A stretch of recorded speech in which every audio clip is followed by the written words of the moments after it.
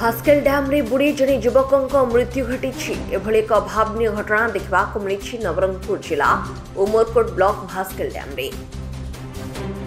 ମୃତ ଯୁବକ ଜଣକ ହେଲେ ଯାଜପୁର ଜିଲ୍ଲା ଦଶରଥପୁର ଗାଁର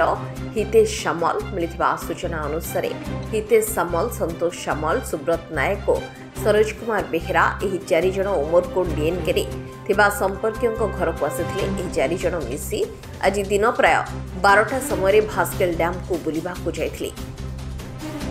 हितेश सामल गाधोवा को पा भर को ओह्ल समय असावधानता जो गभर पा भर को चली जाते हैं हितेश बुड़ जाते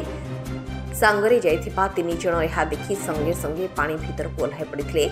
हितेश को उद्धार करने चेष्टा करते ନିତୀଶକୁ ବହୁ ଖୋଜାଖୋଜି କରିବା ପରେ ନିତୀଶକୁ ଉଦ୍ଧାର କରି କୂଳକୁ ଆଣିଥିଲେ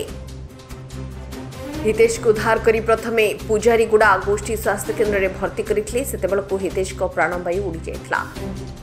ହିତେଶଙ୍କ ଶବକୁ ମହାପ୍ରାୟଣ ଗାଡ଼ି ଯୋଗେ ଉମରକୋଟ ଗୋଷ୍ଠୀ ସ୍ୱାସ୍ଥ୍ୟକେନ୍ଦ୍ରକୁ ଅଣାଯାଇଥିଲା ଏନେଇ ପରିବାର ଲୋକଙ୍କ ପକ୍ଷରୁ ଉମରକୋଟ ଥାନାରେ ଲିଖିତ ଅଭିଯୋଗ କରିଥିଲେ অভিযোগ কো ভীতি কৰি উমরকোট পুলিশ ডাক্তৰখানা লৈ পহஞ்சி সব জবত কৰিবা সহ ব্যৱচ্ছেদ পৰি পৰিৱাৰ লোকক হসান্ত কৰে।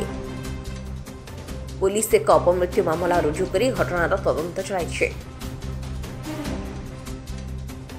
উমরকোটৰ জিতেন্দ্ৰ কুমাৰ দাসৰ ৰিপৰ্ট উত্তৰ মেল টিভি